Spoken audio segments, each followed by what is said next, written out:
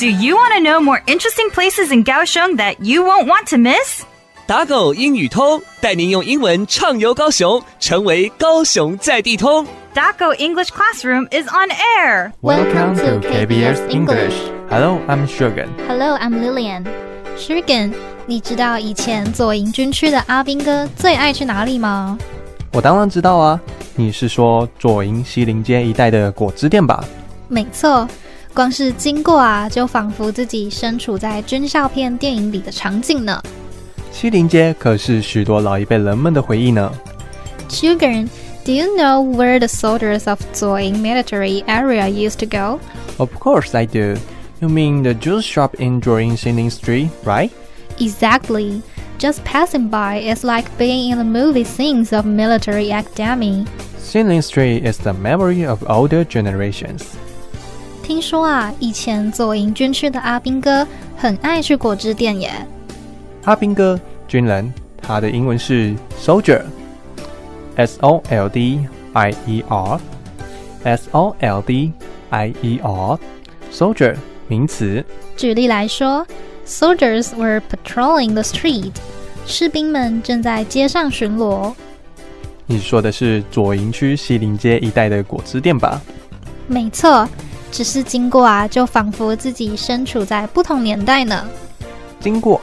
动词，它的英文是 pass，p a s s，p a s s，pass。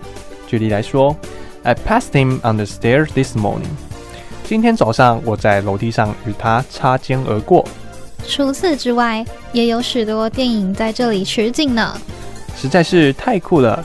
西林街上复古的场景，仿佛就像在军校片的电影里一般。军校，名词。它的英文是 Military Academy，由两个单字所组成的，M I L I T A R Y A C A D E M Y M I L I T A R Y A C A D E M Y Military Academy。举个例子。I feel very proud when I see my daughter become an officer from a military academy. 看着自己的女儿从军校毕业，成为一名军官，我感到相当的自豪。在以前还没有手摇饮的时代，果汁店在炎热的高雄可是很重要的存在呢。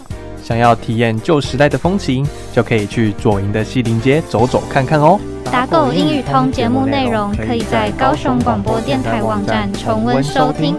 打狗英语通，我们下次见。本单元由高雄广播电台、国立高雄科技大学应用英语所合作直播，谢谢收听。And don't miss out on our next lesson right here at Dago English Classroom. We'll see you then.